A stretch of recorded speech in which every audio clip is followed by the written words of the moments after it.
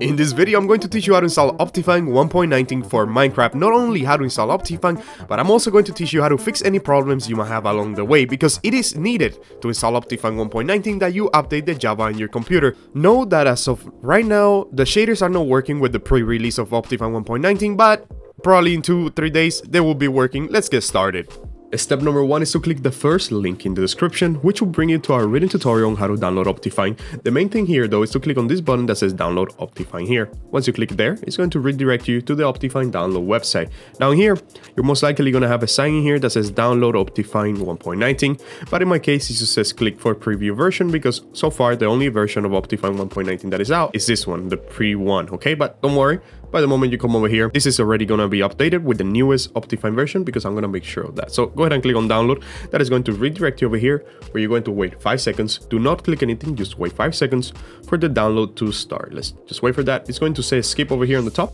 You're gonna click on that, then it's gonna bring you over here, and now we could click on download. There we go, that was my bad. We have to wait five seconds and click on that skip button on the top, and the download is going to start over here. Do not click on any ad or anything, just wait for that to finish downloading, as we can see here in the bottom left. If you're using Chrome, if you're using Opera GX, the download might be on the top right. Let's go ahead and drop this into the desktop. Now we have Optifine, okay? But here's the thing, in order to run Optifine 1.19, since it is modded Minecraft, we need to update Java to the newest Java version on our computer, because any modded Minecraft above 1.16.5 needs Java 18th to run successfully. So let's do that. Go ahead and click on the second link in the description, which is our written guide. Feel free to scroll through the pages in here. We have screenshots and everything. If you prefer reading guides, this is the right place. The main thing here again is to click the download Java here. Go ahead and click on that. and it's going to redirect you to this website. We're going to scroll down a little bit. Go ahead and click Java 18th, click Windows, and then it looks for the x64 installer as we can see right here and click on this blue link right here that is going to start the download immediately. In this case you don't have to wait five seconds or click any skip button. Just click on this link the x64 installer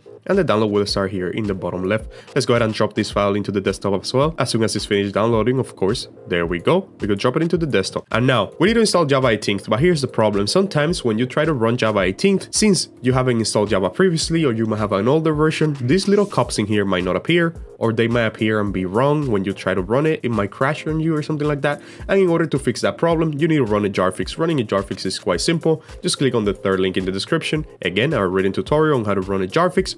Just click on this button right here that says download Jarfix here, main thing. That is going to redirect you over here where I made sure that it puts you exactly where you need to be to download the jarfix.exe. Go ahead and click on this line that says jarfix.exe. Once you click on that, the download will start here immediately in the bottom left.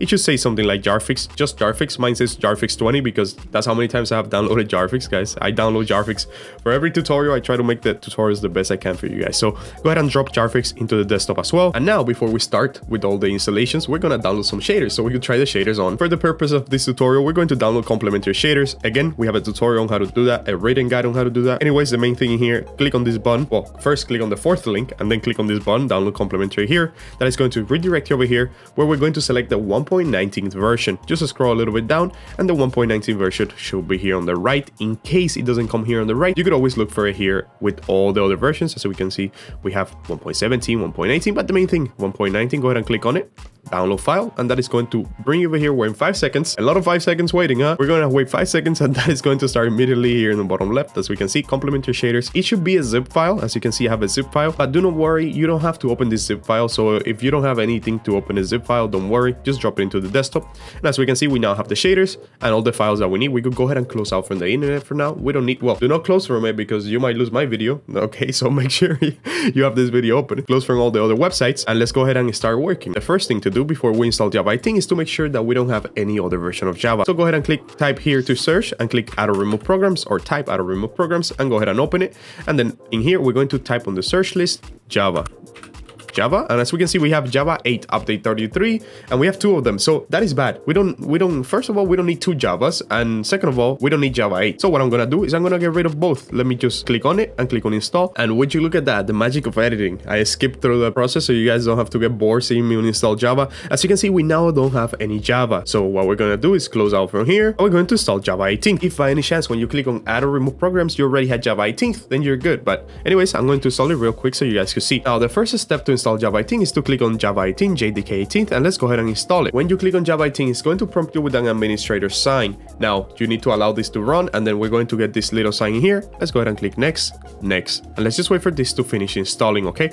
We're just gonna let Java 18 install. It should be a quite fast process. Actually, it doesn't take that long. As we can see, it's going really fast. Now, after we finish installing Java, we're going to get this sign in here. We're going to click close. We have finished installing Java. So I'm going to get rid of the installer so you guys don't get confused. And now we need to run jarfix because jarfix is going to make sure that Java 18th gets applied to all our jar files. This is a jar file, right? Optifine is a jar file. So go ahead and click on jarfix. And when you click on jarfix, as you can see, jarfix run on Java 18, JDK 18 in here, meaning that all the jar files have been updated to Java 18th. We're going to click OK and now we could get rid of the jarfix as well. Now what we need to do is install Optifine. But before we run Optifine 1.19, we need to make sure that we open Minecraft 1.19 at least once on our computer. So just go through your Minecraft launcher, launch Minecraft 1.19 or whatever version of Optifine you're installing, right? If you're installing 1.19.1, then make sure that you run that version first. But in this case, it's 1.19, run 1.19 Minecraft, and then we could launch Optifine 1.19. Let's go ahead and launch it. Once you're here, click on install, and let's just wait for that to finish installing. There we go, Optifine successfully installed. It's very fast as well, it's not a long process. And go ahead and click on OK. And now we could even get rid of the installer for Optifine. If you have Forge and you want to add Optifine without getting rid of Forge, just drop your Optifine into your mod folder in Forge. That is for those that have Forge and have a modded server or a modded game, just drop Optifine into your mods folder and you're pretty much like installing Optifine. But in this case, we already installed it. Let's go ahead and launch our Minecraft launcher. As we can see here, when we launch our Minecraft launcher, we already have Optifine selected automatically here in the bottom left. So you can see it says Optifine 1.19. In case that doesn't come up automatically, click on installations and make sure that modded is selected. As you can see, if I don't select modded, Optifine doesn't come up. So select modded, 1.19 Optifine is right here. If that doesn't work, just click on new installation and make sure that you select on the latest release, change it to Optifine 1.19. As you can see, release 1.19 and there we go. We have Optifine. You can name this whatever you want. Let's name it Optifine.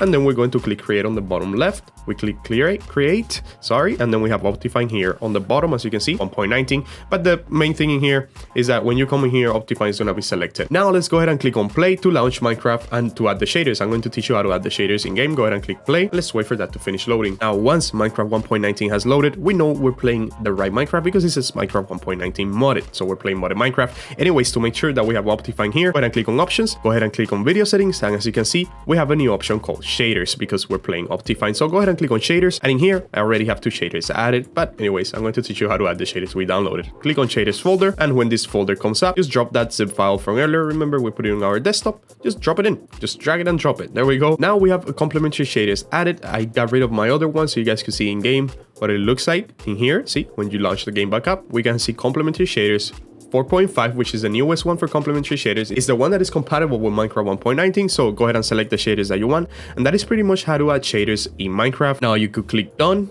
done, done, and you could go ahead and play and you're gonna have shaders. Remember to zoom in, use your C button. And there we go, guys. That's pretty much how to Optifine. The good thing about Optifine is that we could go here on video settings and we could customize Minecraft to make it run faster, to make it run smoother. We could edit our performance here on the menu. We could go in here and change the stuff to make it render faster, to make it be a better game, smoother, make it get more FPS. That is pretty much how to Optifine 1.19. I hope you enjoyed this video, and as always, bye bye.